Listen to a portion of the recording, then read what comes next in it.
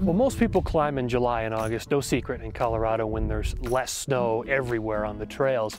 We like to separate the seasons out so you have that July, August climbing season and that's the heart of thunderstorm season in Colorado. I'd say 90% of days in the summer see afternoon thunderstorms.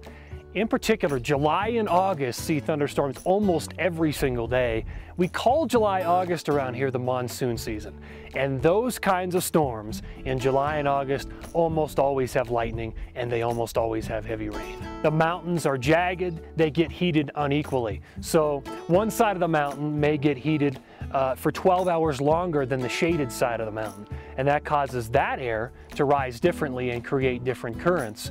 And that's going to help to develop those thunderstorms in a more violent way. And add to the mix in July, August, you've got the monsoon. That's new moisture, that's additional moisture that's flowing in from the south out of New Mexico and Arizona, and that's fueling these afternoon storms. The worst afternoon thunderstorms by far are in July and August.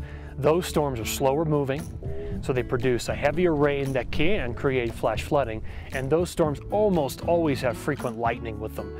And so you have to pay attention. You really have to be on your game in July and August. And, and there may be days when you can't climb. There may be days when the storms from the previous day are still raining in the morning and you may have to wait it out. Skip a day. If there's so much monsoon moisture around, it may not be worth it trying to get up a peak and getting caught with early storm development.